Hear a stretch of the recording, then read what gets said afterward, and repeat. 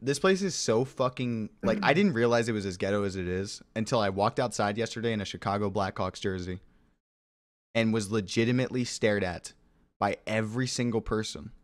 And I was like, why is everyone staring? Like I couldn't decide if it was because I was white in a predominantly black neighborhood or if it was because I'm wearing a hockey jersey or what it was. And then Peter was like, no, like the Chicago Blackhawks are affiliated with the Blood Gang. And I was like, are you fucking Ooh. kidding me? And then like there was I shit you not. I'm sitting like because we had to go outside to go down to like the laundromat that's like attached to like our apartment area hmm so we could do laundry.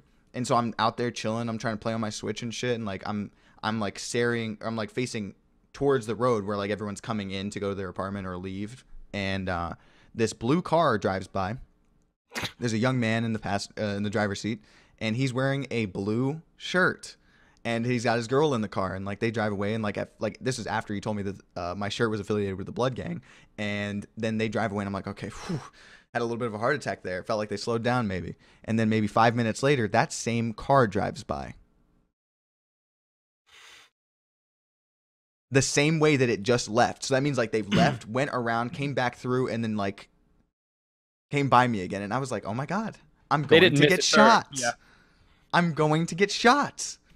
My neighbors even who've been really nice to me, like when I walked outside, or like um, I saw like the the man because like the woman was like, "Oh, you guys gotta do some laundry," and I was like, "Yeah, we gotta do some laundry," you know, whatever. And then like the guy is like smoking his cigarette, and he's like, "Hmm," you know, like he's doing one of those at me, and I was like, "Why is everyone staring at me? Like I thought we were cool here, you know?" But uh, so yeah, I might get killed for being a blood or something. You probably should stop wearing that jersey around. You Fuck should do that. the whitest thing in the universe and just bake like a gigantic batch of cupcakes and just like write out I'm not affiliated with the Blood Gang or something. Like hand them out to all your neighbors. Hey, sorry, didn't know about the Chicago thing. Just I'm not a affiliated blood. with the Blood Gang. Like, I'm not I- a blood. I wish they would just be like, like it's just like some stupid white kid who just likes hockey or something. You know what I mean? But like, they like they might genuinely think I'm like in the blood gang, or even if they like maybe they think like I'm just like trying to act like I'm in the blood gang, and they're gonna kill me for that. You know? Like either way, I might get killed, and I'm not about it. But Well- also, fuck not wearing that jersey. Well, I'm not a pussy.